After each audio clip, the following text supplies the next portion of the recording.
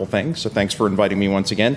Um, I spoke at this meeting um, three years ago, uh, and I'm going to recover some of that ground because really the story of MVAPICH as it relates to TACC is a long running one from when we started getting out of Myrinet and into InfiniBand. Um, uh, and it runs till now and is ongoing, and there's a lot left to do. So um, I want to recover some of the history of. Uh, um, so if you remember my talk from three years ago, which was also early in the morning, so you probably blocked it out, and it's fine. Um, but you'll see some of that again. But then we've added some chapters on the stuff that we've done together um, with the team here at OSU and MVAPICH. So, um, so and again, thanks to all the people who give you the money. Um, once you become a director, you always remember to put in the slide, thank the people who give you the money. Um, but a special thanks to DK and his team here at OSU.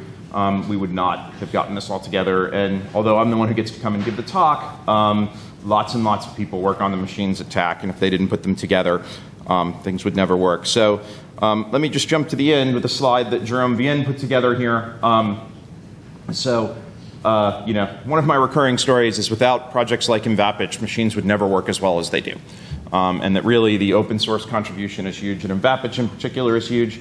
Um, and this has happened once again. So this is our latest graph of job launch on Stampede 2 on the Knights Landing nodes, which as you know have lots and lots and lots of cores, as we will talk about. Um, and this is time for job launch of MVAPICH in the line that looks like it should, and um, the Lorentz transform there, where we're asymptotically approaching infinity, is Intel MPI um, for launching jobs. And so um, this is in nodes, but we're doing 64 MPI tasks per node in this case. So um, the we're going out and in here to launching 229,376 MPI tasks, which is less than 20 seconds um, with MVAPICH and I think Jerome stops doing tests once it hits three or four minutes and he gets bored. Um, but it looks like it'd be, I don't know, next year's conference to launch that um, with Intel MPI at this point, um, which of course is the default standard industry MPI.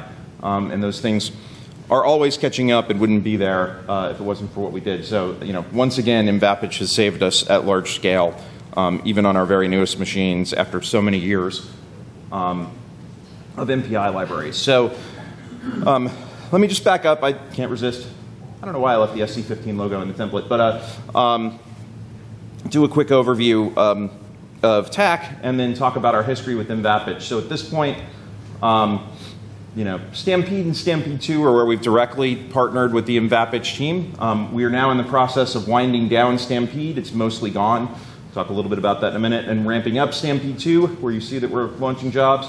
Um, they have been remarkably productive systems over their lifespan. We're now at four and a half years on Stampede. We're closing in on the 9 million job mark, um, over 3.3 billion processor hours and counting. Um, 3,500 projects, 400 institutions. We rolled 14,000 accounts onto Stampede 2 on day one that were active from Stampede. If you count inactive accounts, we're pushing 40,000 um, at this point, and we're still in the last quarter oversubscribed by seven to one. Um, these are the things you know about us that we put out lots and lots of jobs. Um, at TACC now, we actually have lots of different platforms, and we have lots of different interconnects. Um, so we like to think that when we talk about MVAPICH and the importance of these things, we have at least some comparative basis to know what we're talking about. We have InfiniBand systems, we have OmniPath systems, we have Aries connected Cray systems, we have Ethernet connected systems, we have some other crazy things with direct connected PCI or the Microsoft FPGA interconnect um, that clusters FPGAs together out the back of the machine with weird cables. Um, so we have at least five different interconnects that we look at across our platforms. Um, and again, we hold a whole bunch of data.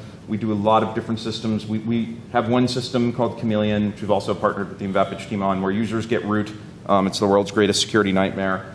We do, um, and then just to since we have that nightmare on a different segment of the network, let me assure you, we have HIPAA, FISMA, and FERPA data as well. So um, all over the place. And of course, the why we do this is to do cool, cool things with them, like build rocket engines. Um, that's the Firefly stage booster that was designed with Stampede, did all the computation for that. We do plasma fusion stuff. You guys all know what we do. um, genomic analysis, that one was the cover of Nature. Um, sort of one subspecies of human arising from three subspecies in Europe. Um, so we do all these cool things, but to do that, we need um, really good system software. And so our experience with MVAPICH, just to summarize, now through um, I think 11 years that we've worked with DK's team, uh, is that it's consistently our highest performance MPI, despite looking at five networks and a million vendors and a million MPI implementations. Um, it is consistently our most reliable MPI. Um, and in fact, whenever there's a problem and something's crashing, um, I sort of ask, what's, what was it compiled with? And they say Intel MPI for start a lot of the time. And I'm like, have we tried it with MVAPICH before we file a bug report?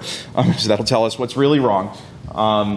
So it's our most reliable, and as I just showed, it's always the fastest starting at large scale versus any of the vendor MPIs we've ever seen.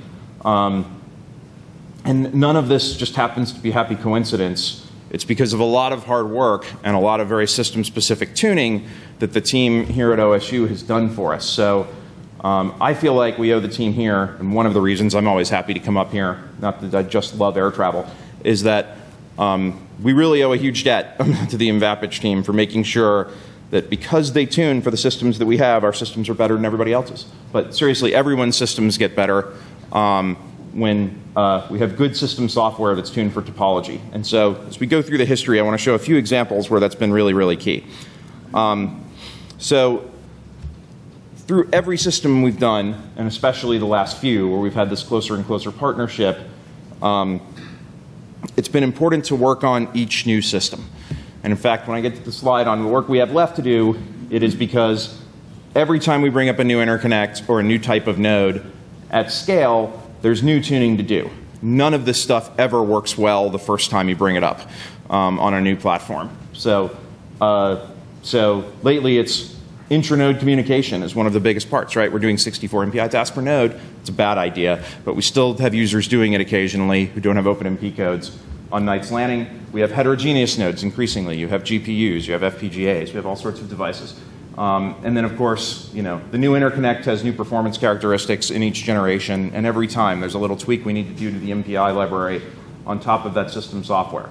And this never shows up in a vendor sales pitch when they come and try and sell you um, a machine, but it's always true. Um, so this tuning is why the machines work well. So if we go back to when we got started at this, we started doing, um, and this actually predates me at TACC, although I had my own parallel thing at the centers I was working at at the time.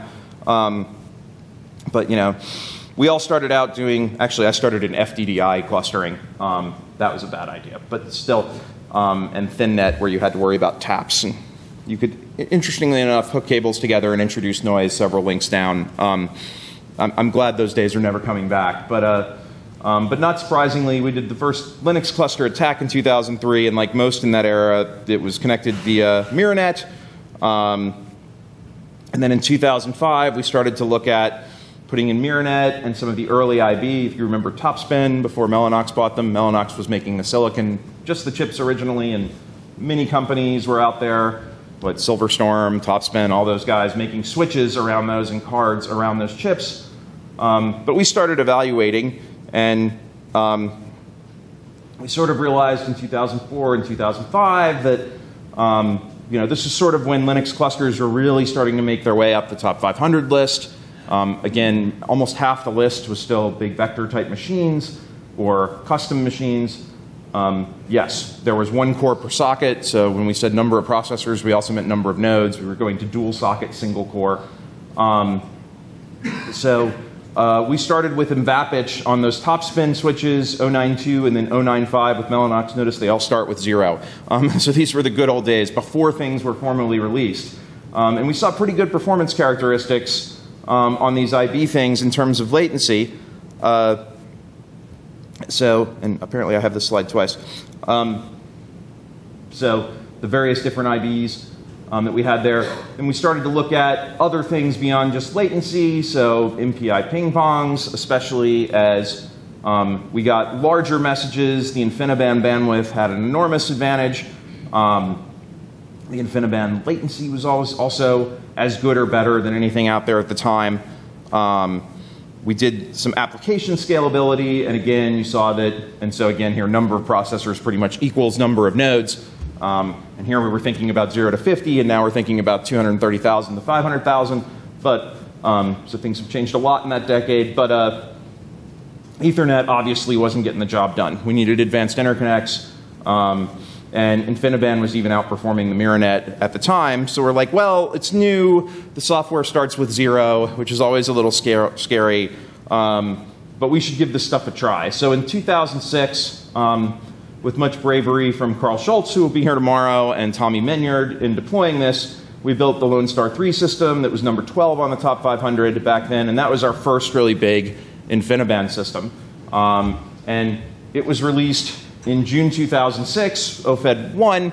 Um, we started running on it in June 2006 because Tommy and Karl were brave. Um, we had the first sort of Lustre over IB at the time, and mainly because no, their MPIs were out, we made mVAPICH the primary stack on that machine. Um, and you know, we added on to it in 2007. It was very, very successful through those years. Um, but then I was working with TACC, and we're like, well, this is great. This stuff all works. Um, at you know, starting at uh, I think we started at six or eight hundred nodes on that machine, then grew it out to about a thousand, and we're like, well, this works. Obviously, it'll work at a much bigger scale. So let's do something scary. So um, we went from sort of the one row of Lonestar, and in 2008 was our first really big system at TACC, Ranger, um, which a lot of you probably remember. And we went up to 4,000 blades, 16,000 sockets, um, and now we were in quad core, so 62,936 cores um, at the time.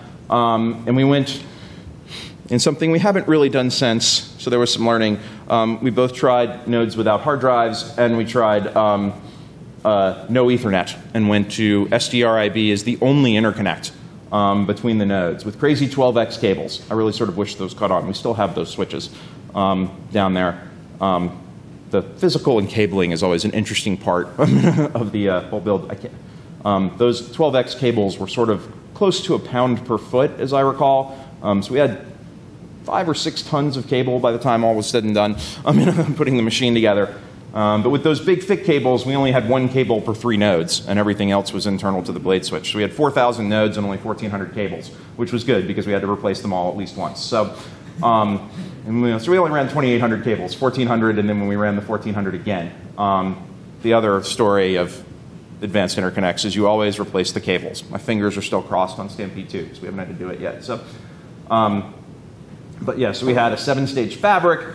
Um, we had these giant switches, again made from Mellanox chips that were Andy Bechtolsheim's uh, brainchild, and this was the number four system on the top 500. But of course, on day one, um, you know, the InfiniBand works. The chips are good, the protocol's there, but there was lots of stuff we had to tune, and that's where we started interacting with the mVAPICH team, was when we started realizing what the challenges were to tune for new systems. So um, so starting at Cluster 2007, which was about the same time um, this was coming up, and that happened to be in Austin, and DK came down, um, met with Karl, met with Tommy, um, and started first of all thinking about job launch, because again, mVAPICH has always had a huge advantage in job launch over everything else. And then we moved on to looking at the ConnectX cards and how we can tune collectives, because we went from sort of dual core, dual socket nodes to quad core, quad socket nodes. So we started to have to deal with this intra node bandwidth and tuning.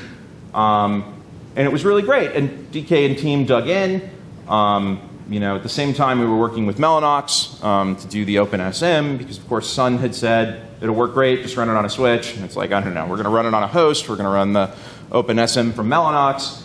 Um, as it turns out, we were bringing up that 4100 endpoint network. In the initial version, sweeps took about 40 minutes, and when you're bringing up a network like that, the average time to lose a route and have to sweep is about 35 minutes. Um, so the, uh, you know, there were days where the network just did nothing but sweeps. Um, we eventually, working with Mellanox, um, got that down to where we could do a sweep in under a minute. Um, so the network was mostly quiet and mostly just moving traffic most of the time.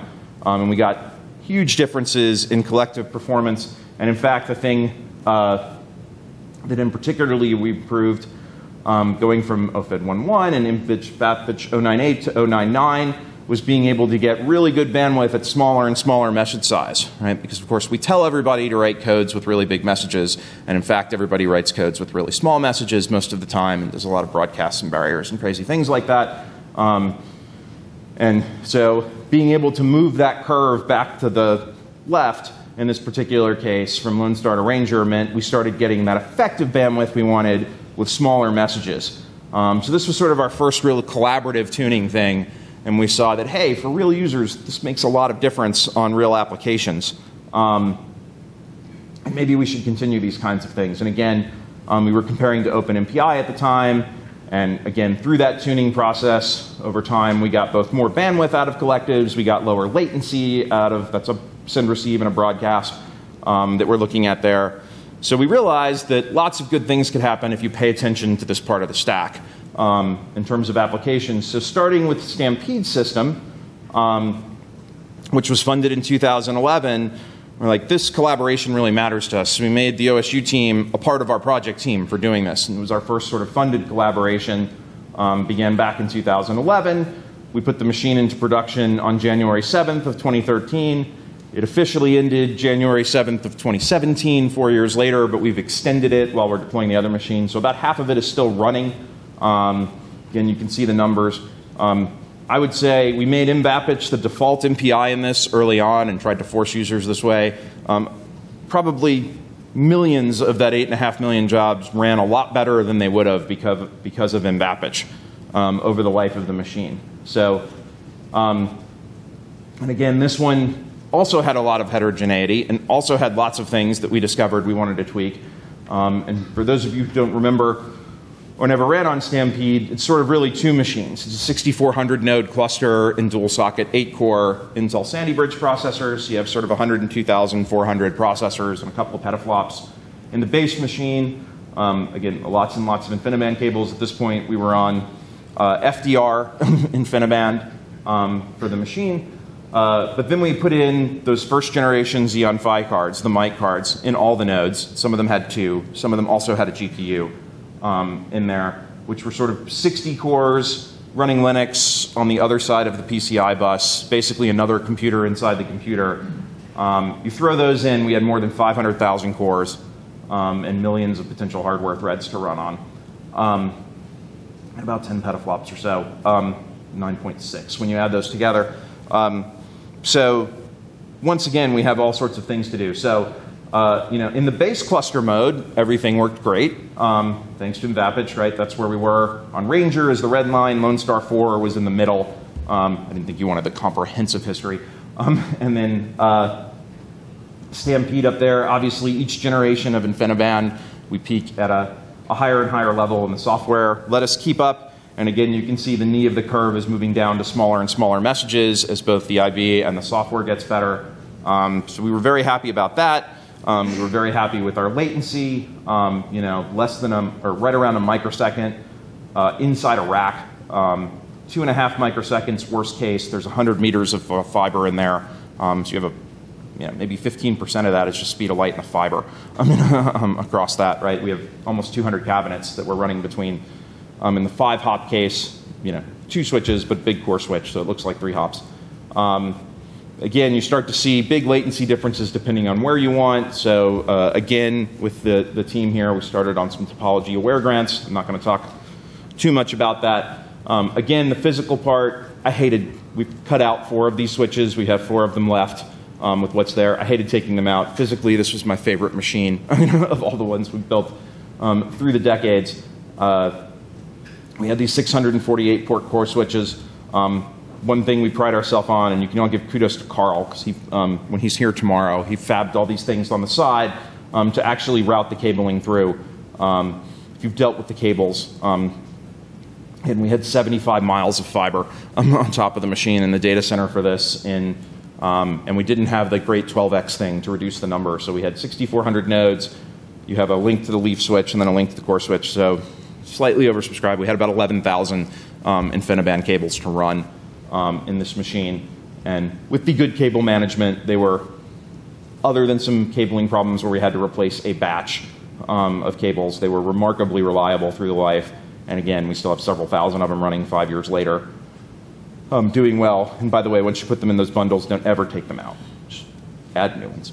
Um, but uh, so again, lots and lots of work to get that up, but many, many good things happened um, associated with that. Um, but again, as we started to reach the large scale, we began to realize how much topology matters. In addition to the latency differences that you see, um, you know, there's again this theory that, well, we have source code, then you have a device driver and an operating system, and computers are computers, so it should just perform the same.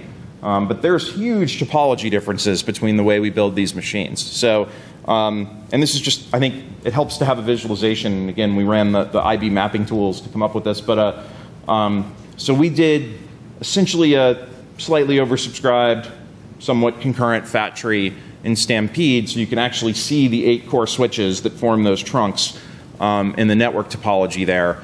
Um, so we have sort of a thick middle and thinner at the edges, right? You see a lot of machines deployed in something like, so that's Gordon from San Diego, one of their older machines now, um, but it was in a torus, right? So you have a lot more connectivity locally. So if you're doing mesh or nearest neighbor, those are great. Um, but it has very different characteristics if you're doing sort of global things, right? So, um, and yet we make the assumption that if we just have one MPI library, then it'll just deal with that, and those topology differences don't matter. When in fact they do, right? It's really important to start embedding this topology information both into how your MPI algorithms work, right, in terms of how you do collectives over these very different topologies, um, and to how you schedule as well, right, and how you pick those MPI tasks um, and put them across. And you can have really dramatic differences if you actually take into account that machines, you know, um, is now the Dragonfly. Um, or modified Dragonfly. Um, but depending on your machine and how you hook the switches together, even with the exact same technologies, um, you can have very, very different levels of connectivity. And it's really important that your software layers understand this stuff um, and embed information about it. So, anyway, we brought the machine up, it was doing great. Um, but there's always stuff to do. And even through the, the years of running um, Stampede, uh, one of the great things about having the Mvapich guys on our team is we kept making improvements as the years went on. They got better and better. So um, one particular one I want to show was from the first year. So we'd gone into production, um, and there were some, shall we say, interesting things going on. We notice, particularly around the Xeon Phis, right? Because now we have this node inside a node that has to relay through from the card back through the host and then out to the network. So of course, there's sort of tuning you need to do there. Um, and as it turns out, this looks sort of reasonable. Um, this is transferring data between the CPU and the mic mini integrated core. That's the Xeon Phi card there. Um, and so that sort of looks like what you want. We get pretty good bandwidth, sort of nearing, as you get to big messages, we sort of max out what your PCI transfer is. Not really, but six gigabytes a second, maybe do eight. Um, pretty close to it, but this all looks good. Um, you know, this is again, in the node, but across the PCI bus between the two kinds of processors and the two instances of the operating system running there. Is that um, PCIe 2? Uh, this is Gen 3. Um, so, uh,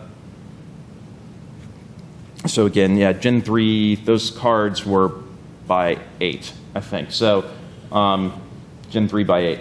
So this looked good. This did not look good. Um, so this was one of the early problems we had. And basically, there was um, a feature in the PCI controller chipset um, at the time was that things where the CPU was the bus master and initiating transfers were really fast. If another device was initiating the transfer, um, it could be awful. And also, there was some socket effects here that I didn't bring in too, as to which socket you put things in. Um, but so this is the CPU transferring to the mic um, was pretty fast. Well, actually, so this is the transfer in offload mode right? So in this case, the CPU is controlling everything, and I did it DK, I walked away from the mic. I knew I would. Um, I'll do it again, too. Um, the one on the other side is MPI bandwidth um, when we got started. Um, because, of course, in MPI, where your MPI task is, it tries to initiate the transfer. When we were going the other direction, it was awful. And even in the, it was better if the CPU is initiating the transfer, um, but still not as good as offload bandwidth. Um, went to this MPI mode. So that's where we started. Um, so, uh, and of course, having this sort of asymmetry between um, where your MPI task is, whether it's running on the CPU or on the, the Xeon Phi, or even if it's between Xeon Phis across the network, is, shall we say, undesirable for scientific applications, right? That's really sort of bad. Um, so again, there were interim steps that I have cut out, but to make a long story relatively short, um, over about a year, um, we went from that being the performance and offload to that being the performance um, with Mvapich, and Intel MPI was still not nearly as good. Um, but in this case, we made changes. We being not me, but the OSU team um, made changes to allow the uh, essentially when the MPI was set up, there would be a proxy and the host would always initiate the transfer. And so the MPI performance went from that thing, um, which is not at all impressive, to that over a year or two of the life of the system, um, where we're much closer to what we get. And in fact, we're as good as the offload mode um, where it's controlling it. Um, now, as of Skylake, the PCI controller is much smarter about doing this. Um, but yes, that was never a bug, it was a feature. Um, according to the, and of course, the PCI controller is integrated onto the CPU nowadays, right? So it's really hard to change um, once you've deployed a system um, how that works. But this is just an example of how, by collaborating over time, even after deployment, um, without changing the hardware for a system that already exists, without changing what we had to buy, we can get really dramatic performance differences. And frankly, that made MPI on the Xeon Phis livable. Um, that was really not. Right? Most things, unless you were super coarse grained, were just atrocious in MPI mode. They worked fine on the card itself, but as soon as you got off it, it was terrible. And this just made it much, much, much better um, over the life of Stampede. So, um, from there, let's talk about um, newer and better things. And now, um, Stampede is starting to fade away. We have the first phase of Stampede 2 has been in production for a little while now. Um, again, very different machine, lots of node types to think about. So we have phase 1 um, up and running today. That's 4,204 Knights Landing processors, and now we don't have this in the node symmetry um, issue. We have a whole set of different issues, um, but these are self-hosted. So the Knights Landing is just a single socket node with that as the primary processor. Um, and we have, now we've gone from, on this machine, we're running OmniPath 1 um, instead of InfiniBand. We're still in a fat tree topology. Um, we have the Ethernet fabric and stuff. We've gone away from the just IB um, to run everything. Uh, so you can still get to the node when you take the IB down. Uh, so, and all of the stuff listed as phase one is up and running now. We're actually have just started deploying phase two, um, which is around Xeon processors, the new Skylakes. And so I had a bunch of non-disclosure slides from the review, but Intel officially launched Skylake a couple of weeks ago. Um, so I just took the words non-disclosure off and brought them anyway. Um, so uh, now it's public, but we're adding, we've already put in all the core network and the core switches. And so we're just adding in these last 30 or so racks of Skylake um, into the system. Those should be there by October. Um, you'll see the numbers for those by supercomputing. And then we're going to do a small phase three sometime in the distant future when the 3D crosspoint DIMMs, um, when if um, the 3D crosspoint DIMMs come out, let's call it 2018 um, as a round number. But uh, the non-volatile RAM, you know, 512 gigabyte DIMMs that are coming, um, just in a small segment of the machine to add yet another uh, layer to the memory hierarchy something to think about in tuning. So if you think about this from a network perspective, not only did we change um, technologies, but we have two kinds of nodes. We have single socket 68 core nodes, a long way from our one core per processor thing. Um, and then we have dual socket 48 core nodes um, with the Skylakes. They're 24 core SKUs of Skylake. The you know, which we just learned the 3, 5, and 7 numbering Intel had, and they of course changed it. So they went from something easy to remember like Skylake to something the marketing guys said much easier to remember. So now I think they're the Intel Server Scalable Platinum 8160p or something like that. Clearly easier to remember than Skylake. Um, but uh, so we have this, you know, 24 per socket, but two sockets on a board, or 68 cores on there, lots of cores. Um, if you throw GPUs in there, then you have all kinds of crazy heterogeneity. Um, some of those nodes have MCD RAM, right? The on-chip fast memory, um, soon to just be generically known as high bandwidth memory when they move to generation two. But this MCD RAM means we have 16 gigabytes of RAM that is on the chip um, for the Knights Landing nodes. Sometimes it is a cache and sometimes it is not. Think about that when writing um, your system software library for it, right? You can map it um, with a boot time option. Unfortunately, it's only at boot time. Um, so then we get into the joy of rebooting nodes between jobs. Um, uh, at the moment, you can just pick a queue in the right mode and we move them at maintenance times. But uh, so you can either take that 16 gig and have it be a cache against 96 gig of main memory. Um, you can imagine the issues of having it's a direct mapped cache, by the way. Um, so you only have six pages of main memory for every uh, page in the cache um, that you can map into. So you can get into all sorts of interesting false sharing problems um, and things like that. Uh, or you can boot it to be just an addressable part of memory. So you have your 16 gig of fast and 96 gig of slow and 112 gig total. Um, you know, where your network code is allocating memory suddenly is a big deal in terms of performance. And knowing the mode the chip is booted in, and by the way, that's the very broad. You can also partition between the two. You can do subnuma clustering within the chip so that you have four banks of four gigabytes um, that different sets of cores can see. There's actually like 16 modes um, to put the memory in, each of which requires its own tuning um, around this. But the first order, it's cache or not cache. Um, so there's lots of things to think about that are subtle in the network layer that I'm not sure um, when they put out these chips and say, yeah, you can just change it, that they really think through the performance implications of all of those things. Um, but so our team for this one, and again, Intel funds, uh, NSF funds you once um, to buy the machine, so that's just the vendors um, with us. But when we start operations on the machine, we have the much bigger team. We have lots of partners in lots of different roles. Um, but in particular, we once again have Ohio State and DK's team on board for tuning this interconnect. Um, so we create all of these problems of different core counts and sockets um, and memory hierarchy layers, and then we say, hey, DK, fix it. So that's kind of how this works. And Ari can testify to that in person. So, um, but anyway, timelines, again, um, these are very long processes, and you have to sort of adapt on the fly, right? We got um, as our Christmas present, a write this proposal in three months letter um, right before Christmas in 2014.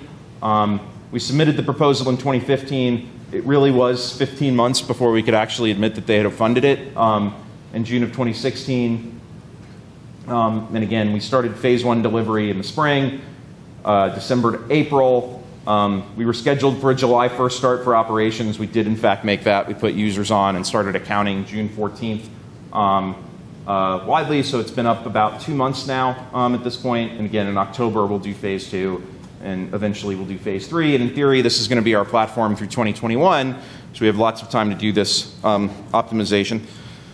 So, a couple of interesting things about the machine. We'll come back to the network.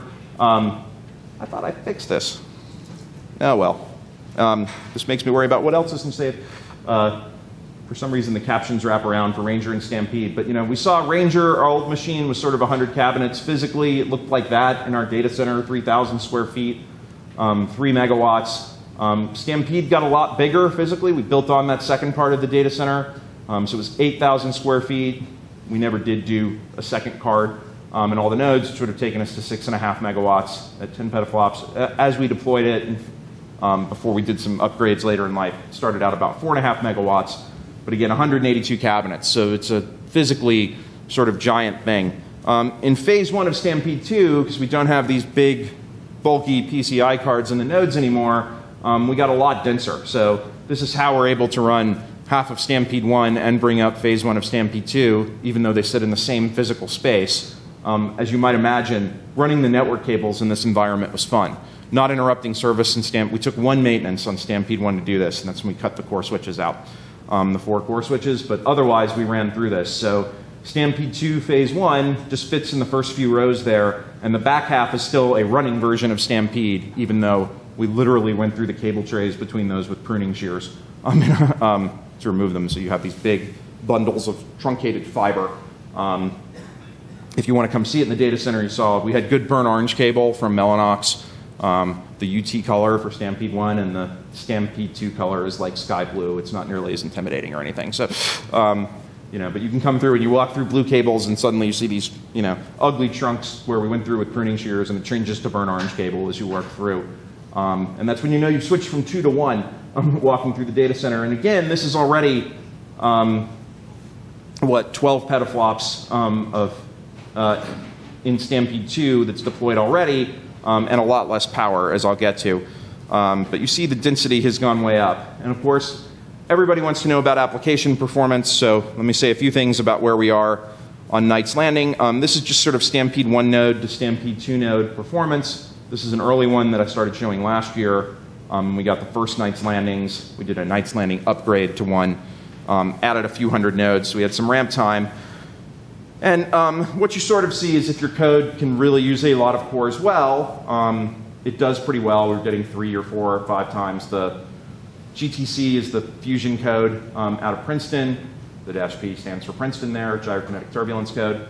Um, the Lattice Boltzmann code there, LBM. Both of those are really good OpenMP, MPI hybrid codes that are well tuned, so they really get sort of your theoretical performance um, max. Most NAMD, WRF, pretty good codes. You get sort of three to one. Things like Flash are really, you know, very sensitive to clock rate um, and don't do nearly as well, um, frankly. So this is just Sandy Bridge to KNL, um, Knight's Landing. Now we're adding Skylake, and Skylake is really fast, also really expensive. Um, but so if you look at Skylake, um, and this is the stuff that I had as more or less a non-disclosure until recently, um, you see that, again, if you're super well tuned, you can get sort of the same performance out of Knight's Landing and Skylake.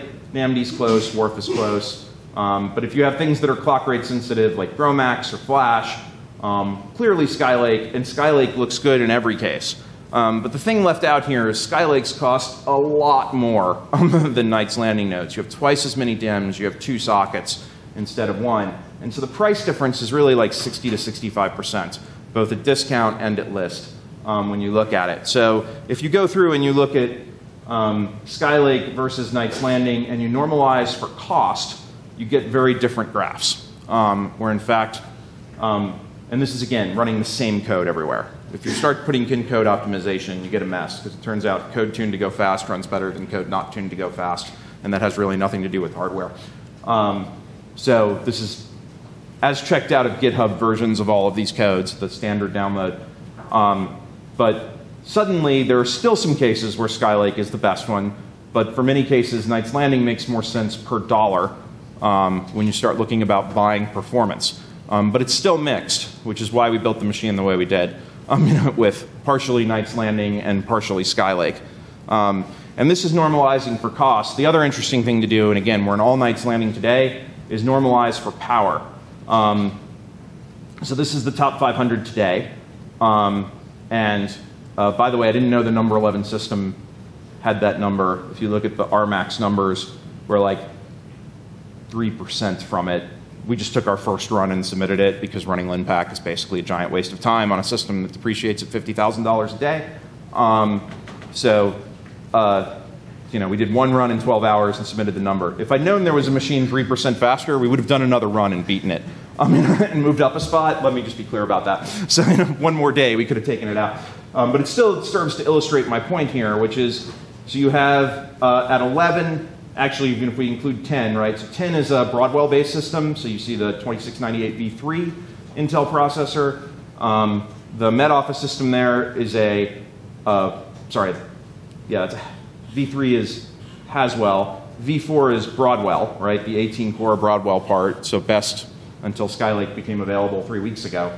Um, uh, roughly the same performance in Broadwell, you know, delivered, and then we are in Knight's Landing. Look at the power column on the far right, right? We are half the power of an equivalent performance Broadwell system in Knight's Landing. So if you start looking at performance per watt, even though raw performance doesn't look great, um, Knight's Landing gets pretty compelling again. Um, I wish Intel had looked at this sooner before some of the changes they're making now. But um, so you see, we're dramatically less. I mean, that is a petaflop faster. Um, at Trinity, uh, but even though, uh, well, again, if you look at you know relatively comparable RMAXs um, and dramatically different R peaks, because of course we can realize a lower percentage with the Knight's Landing of peak. But if you just look at the delivered max, um, there's a pretty big power difference there, right? 1.8 megawatts, I mean, that cost me $1.2 million a year um, in difference in cost. So that's a pretty significant number um, in terms of that. So, sort of where we are as we continue to have explosions of cores and MCD RAM and other things, and looking at future processors, um, we know that less cores and more clock rate would be better if we could ignore cost and power right? I mean, we'd really rather get Power 9s with 8 cores and 5 gigahertz, right? Um, given the option. We know that if you're optimizing for the single job case, that that's the best thing to do. Um, if you're optimizing for how much computing can I get out of $10 million, um, you have a very different optimization point. And it's frankly a weird one um, that we're in right now because traditionally in high performance computing or high end computing, you know, it's how fast can we run uh, the fastest and sexiest problem that we can come up with, right? What is the turnaround time on one problem? Um, but if it's how fast we can run all the science that we can run for a fixed budget, we have to approach the problem a little differently because of this normalized for cost and normalized for power um, kind of thing. So if you ask me today, if you have good parallel code, which again is not most of the code in the universe, but if you have good, a good parallel MPI code, um, the most power efficient and cost efficient way to run it is to use a Xeon Phi.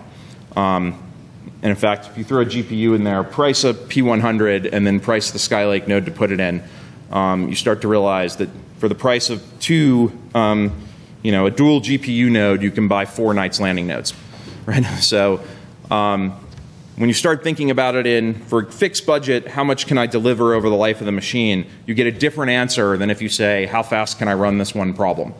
Um, and so the question is, what do you want to do? Um, and that is a question that I think as a community we need to work on a little bit um, as to what our answer is. So at the moment we're splitting the difference and doing some of both. Um, but looking forward, it gets interesting into how we're going to deliver performance. So, um, so of course there's also the OmniPath, and I didn't um, have a chance. Again, we've only had the big fabric up for a couple months, but we've had a few hundred nodes up for a long time in this. So this is. Uh, um, looking at OmniPath scaling, and again, this isn't us. This is uh, from a paper that was published at ISC. So they only had access to some nodes, but these are two machines with similar, not quite the same SKU, but pretty close to the same SKU of Knights Landing. Um, Cori out at NERSC and uh, Stampede 2. Uh, and this is the AWP code. So this is a seismic code out of SCEC and SDSC at Southern California. Um, Cui's paper is what is uh, quoted here. And so Yifeng did some scaling studies, and you see out he only had 128 nodes of Stampede 2 at the time to run on um, when he put this in for ISC in June. So he actually ran it in March. Um, but you see scaling on OmniPath, scaling, and so this is sort of a memory bandwidth intensive code. It scales pretty well, um, but the, you know, we can scale OmniPath, uh, in this case at least, just as well as you can scale Aries or anything else. Um, so we haven't had much in the way of scaling issues um, around the OmniPath fabrics. What we did have, of course, is the job launch issues. So this is the same graph I showed earlier, but once again, um, even though we've changed fabrics, and even though MVAPICH was built around InfiniBand, and even though OmniPath is really mostly InfiniBand, just the others, you know, the QLogic stuff, um, once again, even across fabrics now, MVAPICH has been a huge help to us um, in being able to do things. And of course, nowadays, um, we use MPI in some fairly different ways. You know, we talk about AWP and WRF and GROMACS and all the other stuff, but we're running a lot of different workloads. So this one, by the way, courtesy Jerome for putting this together, Jerome Vienne. This courtesy Xiao Zhang and some of our data team, Wei Zhizhu, et cetera, um, who are looking at running um, how we do on the machine learning codes across uh, now Phi versus GPUs on different things. So first we did some uh, sorry. Apparently didn't click save the last time because I fixed these captions too. They're in black against the background. So the first graph on the left here is a strong scaling plot um, where we had already tuned the number of threads, and this is Caffe, Um, and then ConvNet, CaffeNet, AlexNet, and GoogleNet are various both neural net configurations and data sets that were used to win this. Google runs this image classification um, contest every year and these are like the last four winners um, over different years, and people have started using them as benchmarks. So it specifies both the layout in terms of layers and neuron counts, and then a data set to run it on. Um, and so first we tuned it, I think we figured 64 threads um, on a KNL was sort of optimal for running Caffe. Um, and so the strong scaling plot on your left here is showing that um, we have, so one KNL is a single Stampede2 node, versus a node with a K40 GPU and a node with a P100. And clearly and unequivocally, the P100 is the fastest way to run this um, on one node, right? Um, there's just no way around that.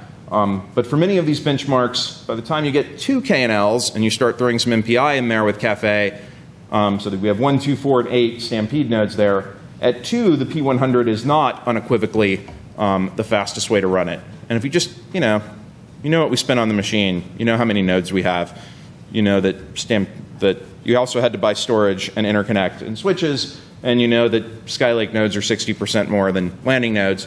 Um, you can sort of figure out what we paid for node. And so I would argue that a node with a P100 is worth three KNLs um, in cost uh, at the very least. So at two, the argument is a little fuzzier. um, so we didn't have Voltas in time um, to do any of this. By the way, this is from a talk at the Xeon users group that Zhao put a paper around. Not yet published, but it's coming. Um, so, uh, and then you know we continue to scale. Some things scale okay at four and eight.